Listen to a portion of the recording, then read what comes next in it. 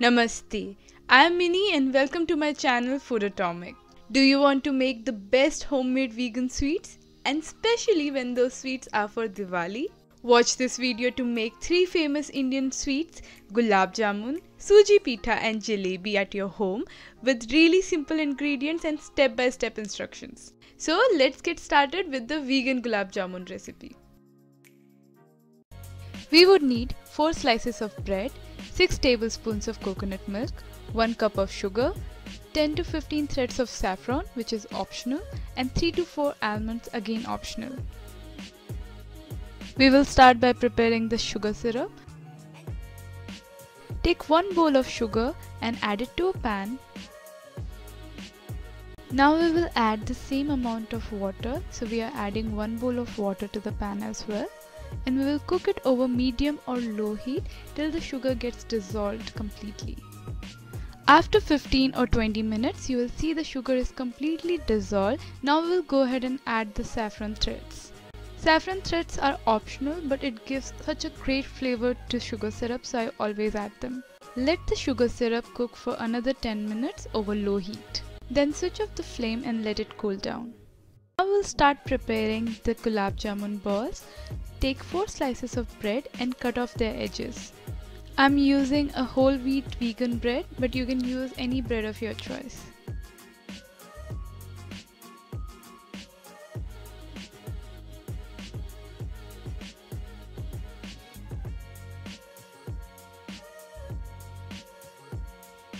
Once you cut off all the edges, we'll go ahead and break them into smaller pieces and we have to make sure that the pieces are as small as possible.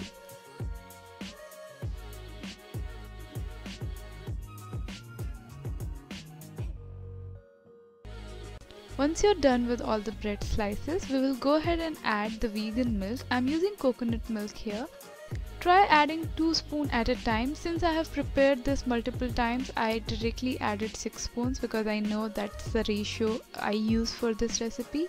But when you are preparing this, go ahead and add 2 spoon at a time and mix it thoroughly.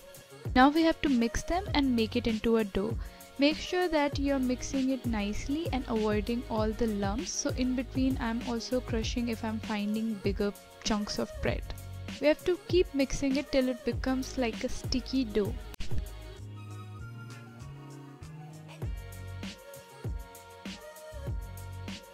Our dough is ready. It is completely nicely minced together. Now we'll start to shape them into round balls. So take small amount of dough and start rolling them.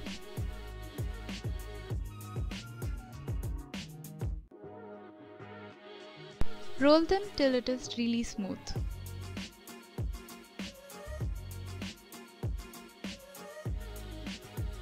Now we'll repeat this action with the rest of the dough. Again you can shape them into smaller or larger round balls.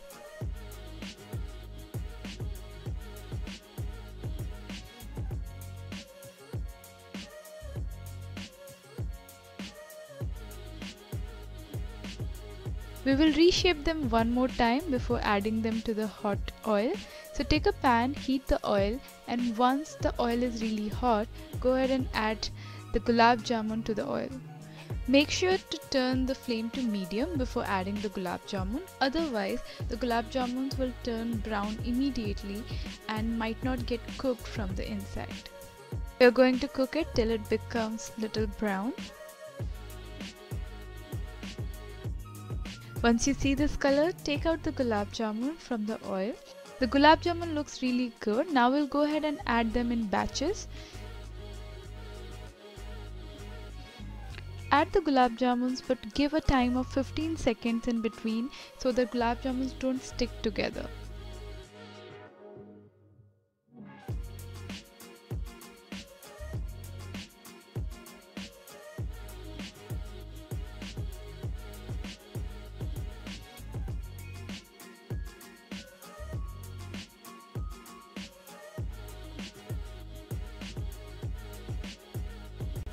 the gulab jamuns are cooked.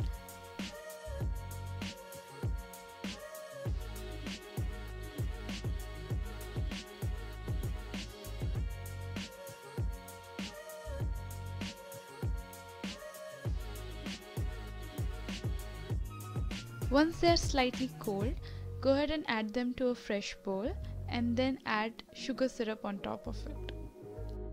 Ensure that the gulab jamuns are completely dipped in the sugar syrup. We'll mix them nicely and then set them aside for 3 to 4 hours so they absorb the sugar syrup. I like to eat gulab jamuns cold so I had put them in the fridge. Now I'll garnish them with some almond flakes which are optional.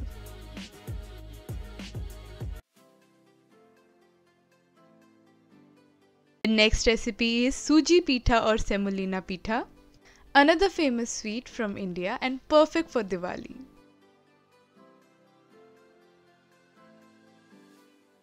We would need semolina or suji 200 grams, plant-based milk 1 liter, oil 3 tablespoons, dry fruits are optional, sugar 1 and a half cup and saffron threads 10 to 12. We are starting by preparing the sugar syrup. We will take 1 bowl of sugar and add it to a pan and then take the equivalent amount of water and heat them together. Mix them together and we are cooking this over medium or low heat.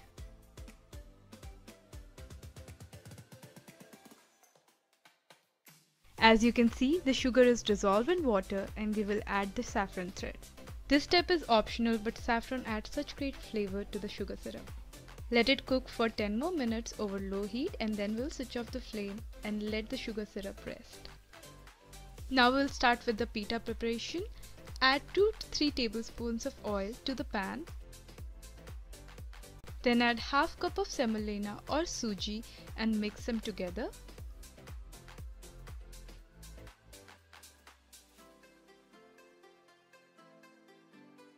We are cooking everything just for a minute over medium heat. You will see there is no change to the color of semolina or suji. Then we will add the milk to the pan. I'm using soy milk. You can use any milk of your choice. And keep stirring everything so that there is no lump formation. We have used 1 liter of soy milk. Remember to stir continuously as the milk might get stuck to the bottom of the pan. It's really simple to prepare this recipe but it does take a lot of time and patience. As you can see the mixture is boiling now. We'll keep stirring every 2 minutes.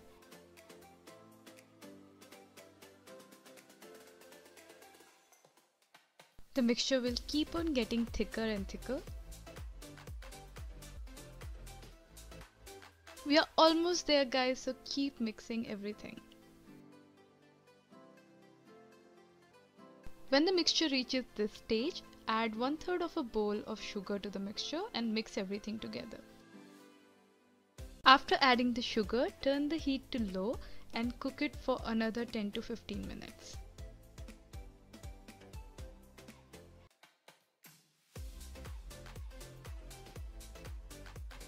As you can see, the mixture is getting thicker. We have to cook it for another 5 more minutes. Pita batter is ready. Now switch off the heat and let it cool down.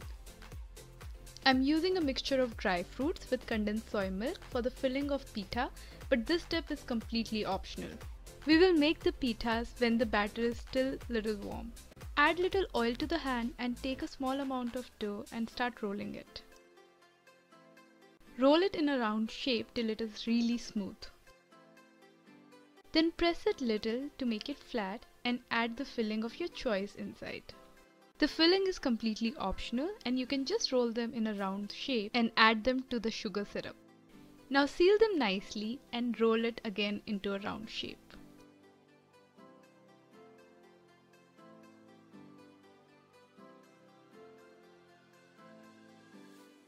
Once it is smooth, add it to the sugar syrup.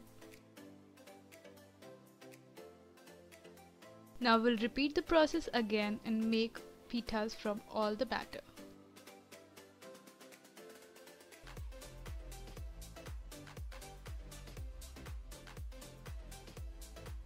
And there goes the last one guys. Our suji or semolina pitas are ready. Don't they look amazing? Now we'll refrigerate the pitas for 1 to 2 hours for them to absorb all the sugar syrup. Serve them cold and you will love them. They are one of my favorite dessert.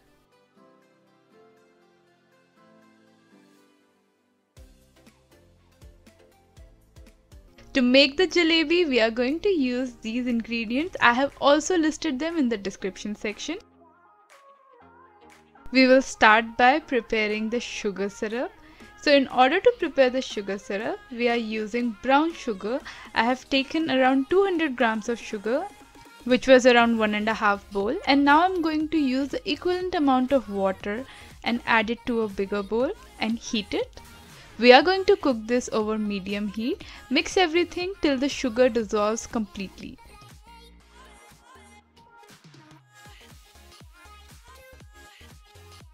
Once the sugar dissolves, add half teaspoon of cardamom powder. If you do not have cardamom powder, you can also choose to add whole cardamoms. Then add around 15 to 20 threads of saffron. Saffron will bring out a very lovely flavor in your sugar syrup. We will let the sugar syrup cook over low heat till it becomes thick. You can check the consistency of the sugar syrup. If it is sticking in between your fingers and you are able to see this kind of thread, that means your sugar syrup is ready. Also remember that once you switch off the heat, the sugar syrup will get even more thicker. Meanwhile, let's prepare the batter for the jalebis. Add 150 gram of all-purpose flour to a big bowl, followed by 1 teaspoon of baking powder,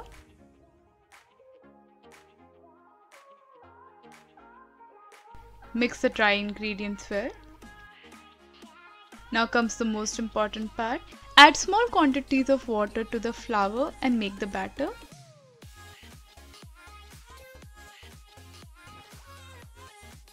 Do not add too much water at once and keep mixing and we have to make sure that it is not too watery and there is no lump formation. So after 5 to 7 minutes of mixing, you will get to this point where it's flowy but not too watery.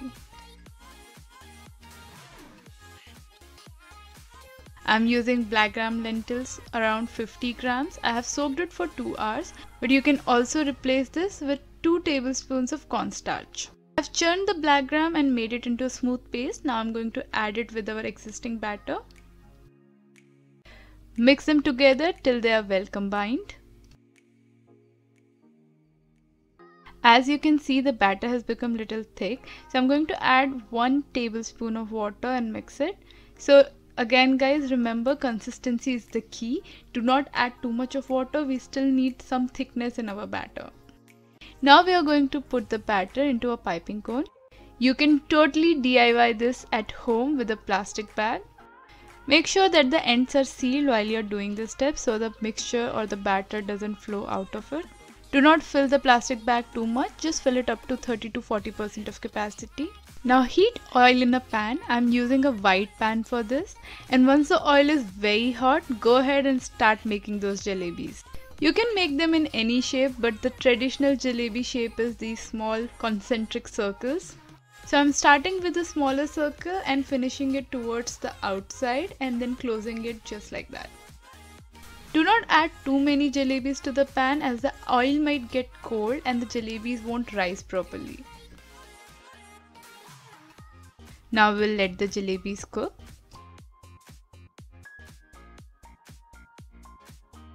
After 3 to 4 minutes, I'm going to turn the jalebis. So flip them just like this and let them cook over the other side.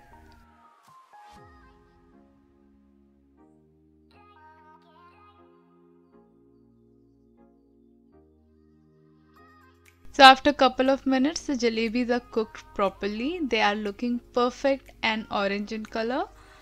Now it's time to add them to the sugar syrup. So make sure that all the oil is dripped out from the jalebi and then add it to the sugar syrup. Also ensure that the sugar syrup is not too hot or not too cold. It's warm so the jalebis will absorb it properly. Dip the jalebis properly inside the sugar syrup Meanwhile they are soaking the sugar syrup, we will prepare our next batch.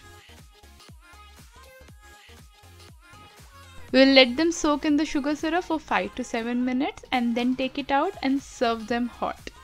So as you can see with just 150 grams of all-purpose flour we were able to make quite a number of jalebis. Garnishing them with some chopped pistachio but it's completely optional. So guys, wasn't this an easy recipe? It is so delicious and everybody in the home will love it.